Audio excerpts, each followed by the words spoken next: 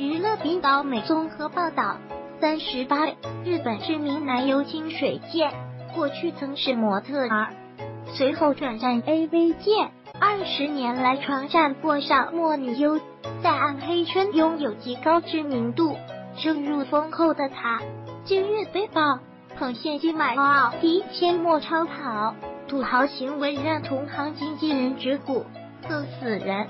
AV 达人一键换全球在 PLAYNOE 网站表示，清水健属一线男优，拍片邀约不断，加上片酬也高，长期下来累积不少钱财。